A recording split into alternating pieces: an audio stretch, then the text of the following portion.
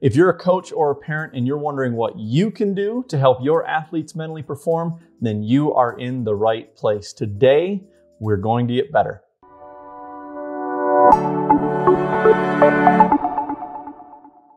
Hey, welcome to the channel. If you're new here and you're an athlete, a parent, or a coach, and you're looking for mental performance tools, tactics, and advice, then start right now by hitting that subscribe button and that notification bell below.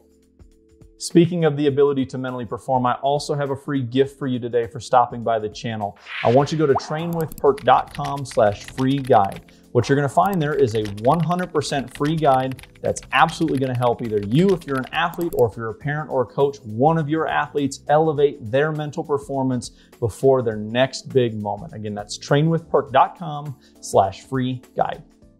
All right, coaches and parents, I'm going to give you five themes that you can focus on with your athletes. Now, this is going to be a little bit of a longer episode because we have a lot to cover here. So if you need to pause the video and grab yourself a cup of coffee, go ahead and do so now.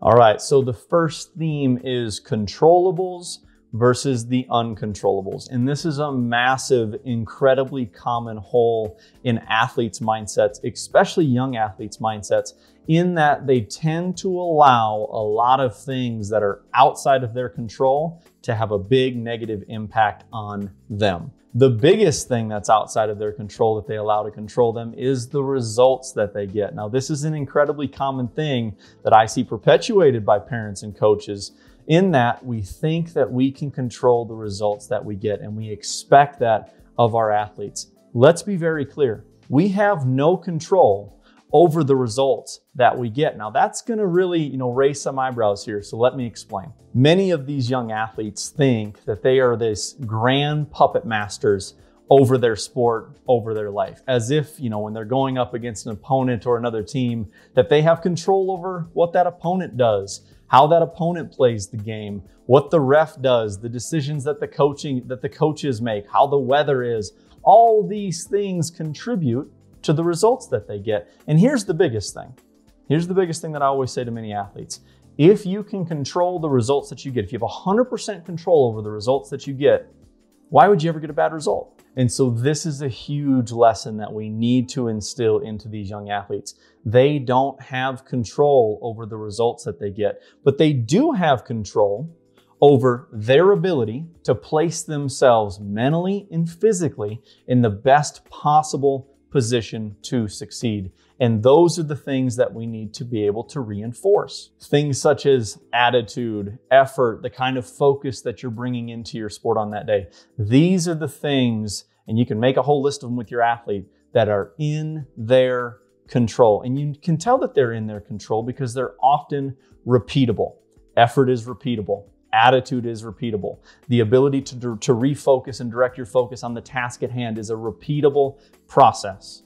And so these are the things that parents and coaches need to be working with their athletes on. They have no control over the refs, the weather, travel, the decisions that their coaches make, the opponents, or even their own teammates. They have very little control. They have actually no control over those things.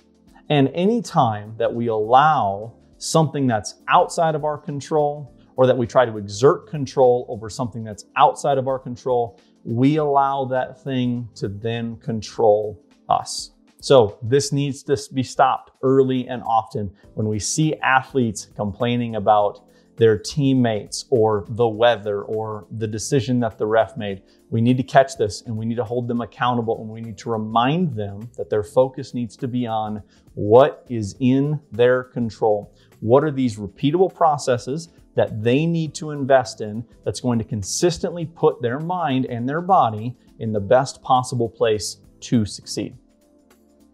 All right, the second theme is I want you to think about helping them, the athletes, set their own standards for either themselves if they're in an individual sport or if you have a team. Help them set their own standards. And I bring this up because a very common thing that I see with coaches is the very first conversation that many coaches will have with their team, especially their, their younger athletic teams and the parents, is some sort of code of conduct speech. And listen, it's obviously incredibly important to establish standards and codes of conducts and rules and regulations and what the expectation is of these athletes for the season. But what if, instead of rambling on and on about rules and regulations at them, there was a way to help set the standards with the athletes using their own words. This is one of the most powerful exercises that I do, and I do it with almost every single team that we start out with every single year. And it's become a crowd favorite and it's become a favorite of coaches. If you want me to do a video of the entire exercise, comment below just with, you know, launch my season or how to start a season. But that's effectively what we're doing. The simplest way to describe the exercise is build out the season in terms of key checkpoints as if you're running a race what are the key checkpoints? So maybe you have the the preseason then the first couple months of the season then may, there might be a, a, break in the middle then we might have the the postseason push and then the postseason. Establish spe- very specific checkpoints for your athletes and then within each of those checkpoints have the athletes set goals. So for example in the preseason what are four or five goals that we need to be to have developed and have handled as a team? Do that same thing, four or five goals for all of those checkpoints. Now, this is the key. Once you have those goals established, what I want you thinking about with your athletes and what I want you to ask them is how do we need to operate as a team what standard does this team need to hold itself to, or set of standards does this team need to hold itself to that's going to really help us move towards all these goals? And just ask them. And I think you're going to be really surprised by what you hear. Because what do most coaches talk at their athletes about? Right? Building a strong team, respecting each other, being encouraging, all these things. Don't you think the athletes probably already know that? Well, when you ask them, when you ask them what standards or what's going to be the code of conduct for this team or however you want to phrase it that's going to make sense, when you ask them, that's exactly what they're going to say.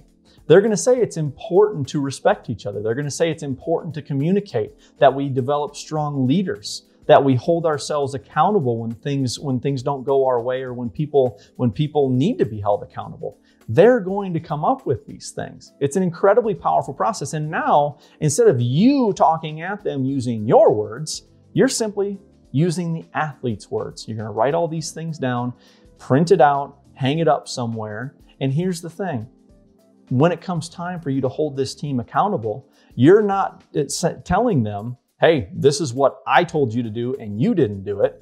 Instead, you're saying, this is what you all decided that you needed to be held accountable to. And now it's just my job to do that. Incredibly powerful process. Comment below with some of the standards that your team comes up with. I'm looking forward to hearing it. All right, the next theme is to help your team or your athlete foster confidence. Now, I've talked about confidence a bunch of different times. I will put that flagship video above there for you to go check it out. But let's just keep it really simple here. I'm gonna keep it as simple as I can for the sake of the length of this video. The short version is that you need to help your athlete if he's an individual or help your team if you're working with a team or if you're coaching a team. You need to help them identify what actions do they take when they are being the best version of themselves. So for you individual athlete coaches, right? What what actions does your athlete take when they're being the best, most confident, most loyal, most authentic version of themselves. For you coaches of teams, what's the team identity? Can you help them cultivate a team identity? This is how we go about winning games. So, for example, if you're the coach of a, uh, regardless of the sport, of a really gritty team, a really hard nosed, really gritty team, you're just, and your identity is we're just going to outwork you and we're going to be physical. Well, that probably lines up with a series of actions. And it's your job as the coach to remind these athletes when they're taking these actions, this is them being confident. This is them being loyal and authentic. Because what happens when they start acting unconfidently? Well, this gritty, hard nosed team probably becomes more passive. They're, they're not the aggressor. They don't attack the ball and they shy away probably from the physicality of the game. So, again, confidence, as we talk about in that flagship video, is an action. And the easiest way to, for a coach to foster confidence with either their individual athlete or their teams is to help each of them identify what actions for them line up with their confident self. Okay. Once they do that, if they start to take those actions more often than not, then they're going to have all the feeling and the belief of confidence in the world that they need. But that is the coach's role Help the team identify what is your identity as a team, what actions line up with that, and regardless of how you feel or how the game's going, those are the actions that we need to continue to take. Now listen, that's a lot and there's a lot more to it. But again, I'll leave that video to confidence down in the description link. I've also got a few confidence resources on my website that you can go and check out, trainwithperc.com. All right, the fourth theme is creating mechanisms to help them handle mistakes. And this can be done for individuals and for teams. Let's break it down. Each individual athlete, whether they're on a team or not, needs to have something installed for when things go wrong. Mental performance is, in sports psychology is not for the sunshiny days when everything goes according to plan. It's meant for the days when we run into a storm, when we run into adversity. And the be- one of the best things that you can do for your athletes is to help them install something, some sort of physical cue and some sort of mental cue. I'll break that down here in a second. That helps them move forward, that gets them unstuck from the mistake and helps them move forward into the next moment. Now, like I said, this can be a physical cue. So one of the more common ones that I see, especially with baseball players, is if a baseball player makes a mistake, a fun little physical cue is there's a little button on the top of their hat. They push that button and they flush that mistake away. Okay, so what this is, is this is a physical cue and they've trained themselves that whenever they do this, I need to mentally move forward. I need to leave it, leave it in the past. I need to flush it, like literally flushing it down the toilet. Okay? Now, you can come up with something for each individual athlete, regardless of their sport, but it helps to have something physical, whether it's something they can grab, something they can tap on on their foot or whatever it is, something physical, some sort of physical cue that allows them to move forward. Now, it's best to pair that physical cue with something mental. So again, back to the baseball player example. When they push the button on top of their head or on the top of their cap, they're literally telling themselves, hey, flush it.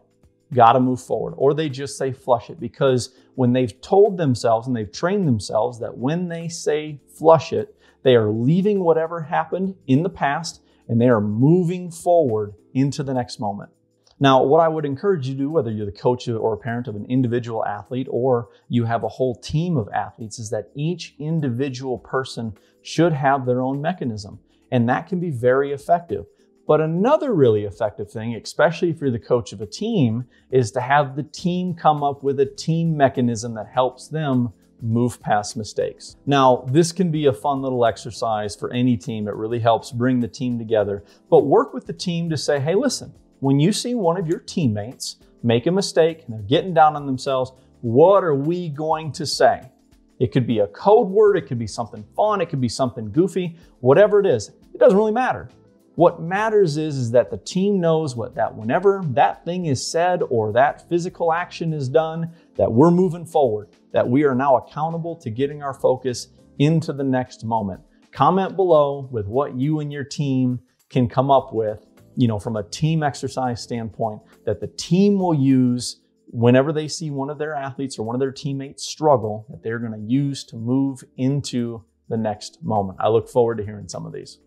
Number five is reward the process. Many times I see coaches frustrated with their athletes for not doing the little things. And honestly, back to number one, it's probably because they're concerned about those results or they're way too focused on all those things outside of their control. So let's handle number one first. And then to reinforce that with number five here, let's reward when we see them investing in things that are in their control, when they invest in the process. Now, I've seen this done a variety of ways. It could be a belt, it could be some sort of crown, anything. It could be, you know, the classic um, whiteboard or bulletin board with the stars or the stickers that go on there.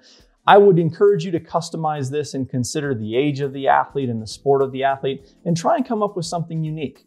You know, so for example, one of the hockey teams that I work with, whenever, you know, one of the lower line players, you know, not the starters or the guys that get all the glory, whenever they at practice really do a great job and really put a lot of effort forward, they get a grinder belt. And it's a big old like professional wrestling belt that they get to wear around that day or that they get to wear around the facility for the rest of the day or until the next practice because they invested in the process and we rewarded those people or those individual athletes that don't get a ton of playing time, but they come to work every day and they put the effort forward and they make the team better. We found a creative way to reward that. And it was with a, a big gold professional wrestling belt. Right? And they wear this with pride, let me tell you. They want that belt. All right, let's simplify this.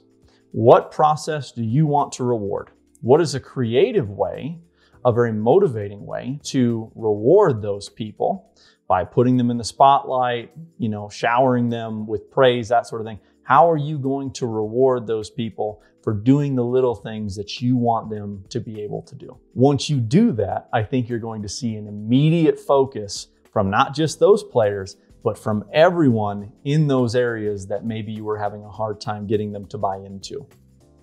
All right, if you enjoyed the video, make sure that you give me a thumbs up. I'd be honored, but also make sure that you subscribe, hit that notification bell, and again, get over there, get that free guide, trainwithperc.com slash free guide.